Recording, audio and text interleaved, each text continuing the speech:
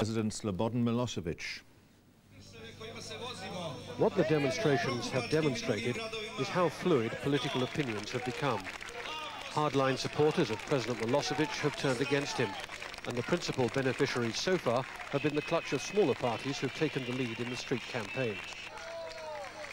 Until now, Mr Draskovic, who heads the only substantial opposition party, had refused to join them.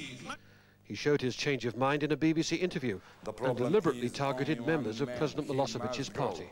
I'm not ready to tell right now to the people of Serbia, look, vote for opposition. Let's go to arrest Milosevic. Let's go to kill him or something like that.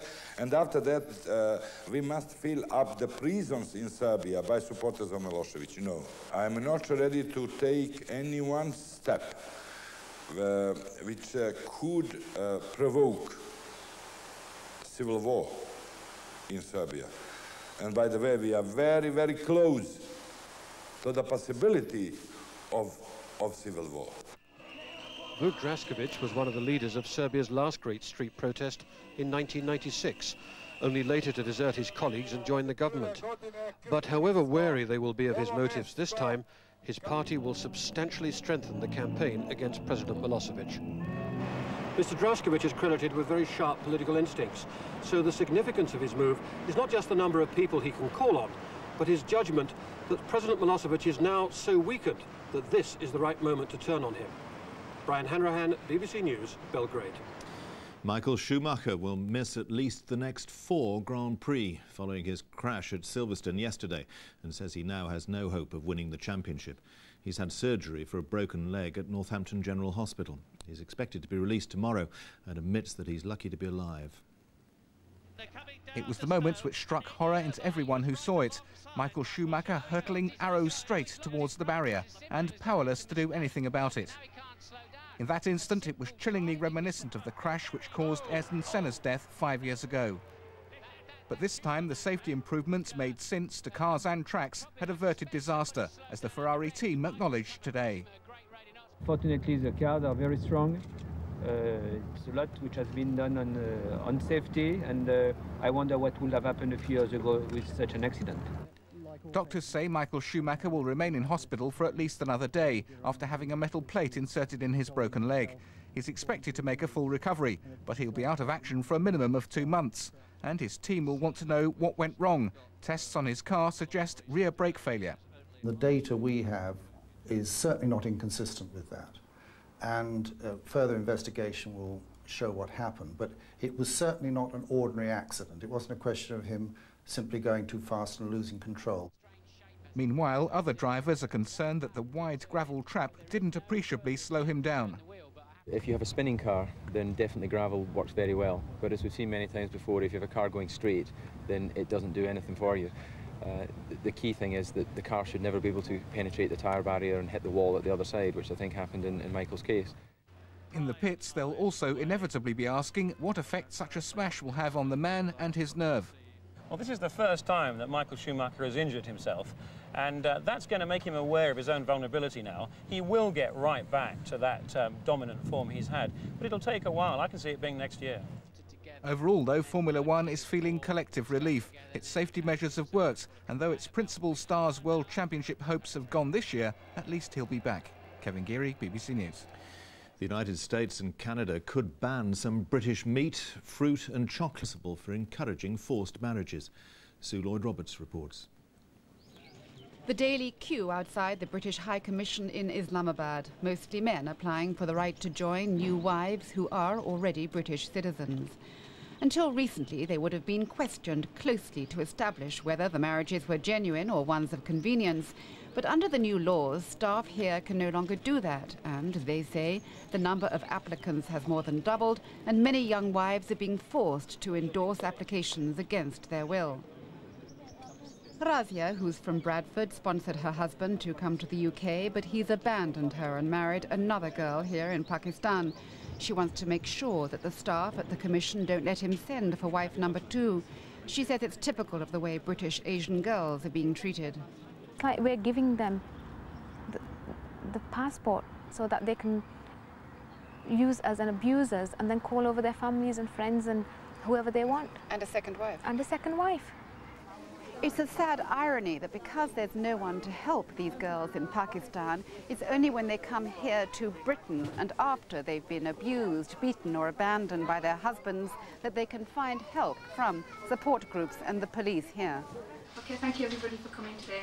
Razia, now back in Bradford, has got together with other women to launch Our Voice, to lobby for changes in the law, which they complain doesn't do enough to restrain the male members of the community like her husband, whom I questioned outside the taxi company where he works. She says that you have married again in Pakistan, although you're still married with Razia. Yeah. But you are already married. So, I am Muslim. Muslim can get married twice, three, three times, four times. It's not a problem.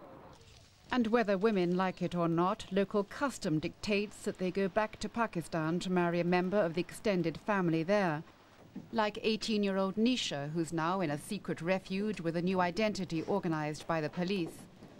When I was 16, my parents took me to Pakistan to get married. They locked me up and starved me until I agreed. My husband beat me, starved me, and raped me. So when I got back to England, I refused to get him over. And so my family here started to beat me.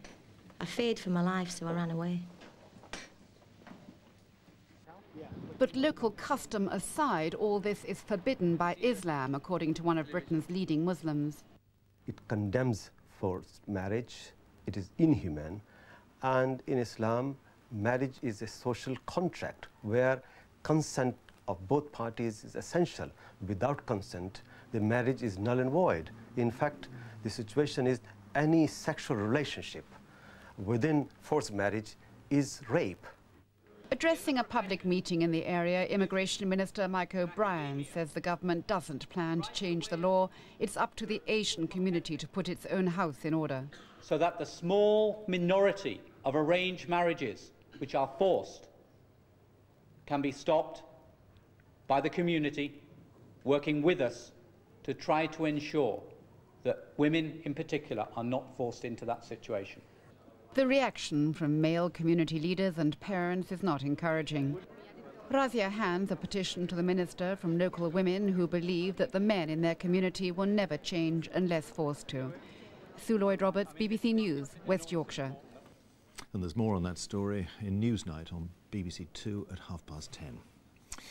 The Iranian authorities tonight banned any demonstrations planned for tomorrow in Tehran. His last of the summer wine has died. He was 85. He was taken ill last month while filming a special edition of the programme and was found to be suffering from stomach and bowel cancer. Nick Higham reports. It's the world's longest running television comedy, set in an innocent world where old age is truly a second childhood, from Bill Owen's Compo more than most. When he first read the script, he said he thought it pure gold. Uh, the whole idea of the series, uh, of these three old codgers, you know, waking up every day and taking it by the scruff of the neck and doing something with it. And um, I knew it was special, and for once in my life, I was right. Before the summer wine, Bill Owen spent 40 years as a jobbing actor and entertainer, everything from left-wing revues to Butlins, including Shakespeare opposite Katharine Hepburn on Broadway. But it was in Last of the Summer Wine, as one of the three ageing layabouts in an old-fashioned corner of England, that he became a household name. The scruffy compo's unrequited love for Nora Batty and their often tempestuous relationship was central to the series' gentle humour. I don't know why he never got an award for it because it was the it was the best character uh, performance uh, in a comedy role that uh, has ever been seen during his time, I would say. A Londoner, Bill Owen became an honorary Yorkshireman and bought a house in the series location Holmfirth, showing that even its stars succumbed, like millions of viewers, to the magic in the summer wine. My last wish is to be buried here in Holmfirth for the simple reason I feel I belong here now. I want to be here in spirit sometime.